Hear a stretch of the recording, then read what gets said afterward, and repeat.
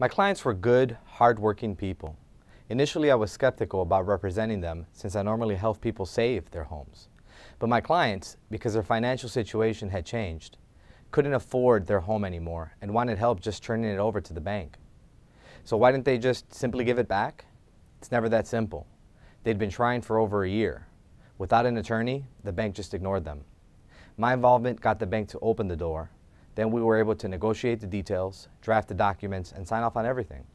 Afterwards, my client told me that he felt that the weight of the world had been lifted off his shoulders. A few years ago, I represented Mohammed in his application for asylum. Mohammed was an Iraqi paramedic uh, during the height of the war in Iraq. He and his family were brought to the United States by and at the request of the U.S. Department of Justice to testify as a witness uh, in a brutal crime involving an American soldier and a young Iraqi girl. Mohammed spoke no English, he'd never been to the United States before, and he knew the consequences of being perceived as collaborating with the American government. But in the interests of justice, he agreed to testify. And back home, he was branded as a traitor. If Mohammed and his wife and his two young children had returned to a war torn Iraq where translators and other civilians who assisted or the US government were being routinely being murdered and tortured, he likely would not have survived. Securing asylum for Mohammed and his family was one of the most rewarding and emotional experiences of my life. Mohammed had faced so many battles and difficult circumstances. His life in Iraq was centered around providing uh, the sick and wounded victims of war with help and providing for his wife and two kids in a country racked by conflict and violence. And even after he, we won his right to asylum, his life continued to be very difficult. He had to find a job to support his family without the ability to speak English or license to practice medicine. Uh, his children had to attend public school and had to learn and make friends and build a life in a language that they didn't speak. Like so many new immigrants to this country, Mohammed and his family struggled really hard to start building a new life, but at least they were safe. And I was and continue to be honored and fortunate to have had the opportunity to help Mohammed and his family secure a basic measure of safety.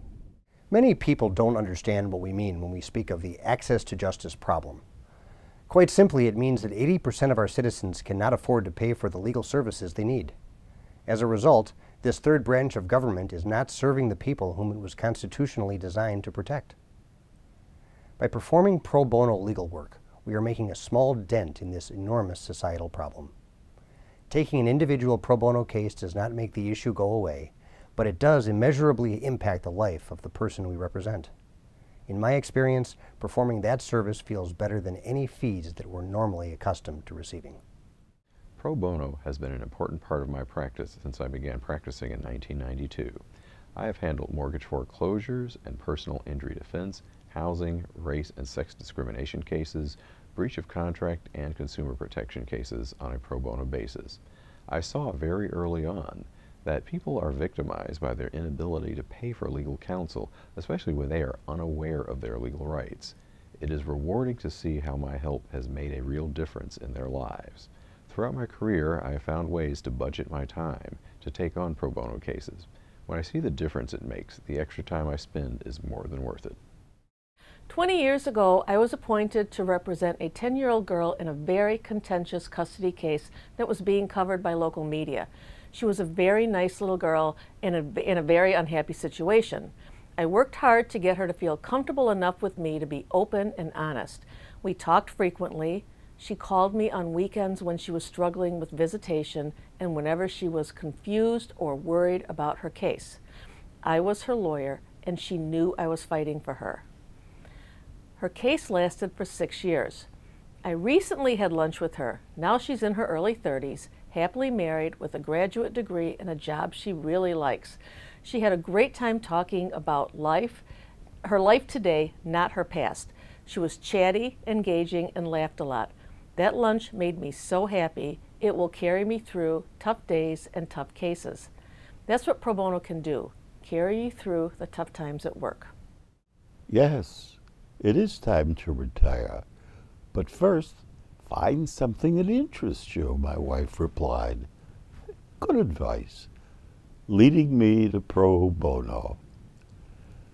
I could still practice law, plus, I had a sense of the goodness of the work, relieving a debt problem, caring for an aged parent, correcting a property interest, and so many other issues.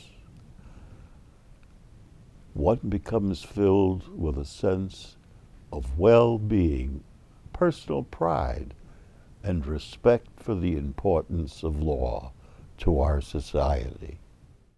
As my first pro bono client shared her story with me, she said, The first time I saw him, he pointed a gun at me. The next time I saw him, I witnessed him murder someone outside the bar where I worked. In the two months after I saw him commit murder, he kidnapped me and raped me on three different occasions. My pro bono client came to the United States seeking refuge, but quickly found herself and her daughter detained in a detention facility in southern Texas. Thanks to the help of volunteer attorneys, she and her child were able to pass through the initial asylum screening process and bond out of detention. Upon release, they were placed in removal or deportation proceedings to seek asylum in an adversarial setting. Despite my client being a single mother with no criminal history, the government appealed the bond. I took over her case to handle the bond appeal and present her asylum case in immigration court. We won both cases. Now my client and her child live safely in the United States. The possibility that she would still be in this country without the aid of legal representation is slim to none. While not monetary in nature, there is a reward for pro bono work and knowing you may save a life or drastically improve a person's circumstances. Pro bono cases can seem to be some of the more difficult cases to take. The circumstances leading to a person's inability to afford legal representation make their lives challenging enough. But add to those circumstances a significant legal obstacle and they can reach a breaking point of despair. Many times, those circumstances make working for the client difficult, logistically and emotionally. I've made several trips as a volunteer attorney to the detention facilities that hold mothers and their children, most recently this past September. Seeing a baby in what amounts to a jail setting is disturbing, and working with mothers who share stories of rape, domestic violence, murdered family members, and threats on their lives is an overwhelming and surreal experience. However, I find my law license has never been put to better use than when helping these clients. I have benefited significantly personally and professionally in doing pro bono work with these women and children seeking asylum. As a result of volunteering in the detention facilities, I met some of the best attorneys in my field of practice. I now have direct access to them when I need mentorship or guidance. On the first trip, I roomed with a stranger with whom I have since started a nonprofit, VIDA, the Volunteer Immigrant Defense Advocates that provides legal services to underserved areas of eastern Tennessee.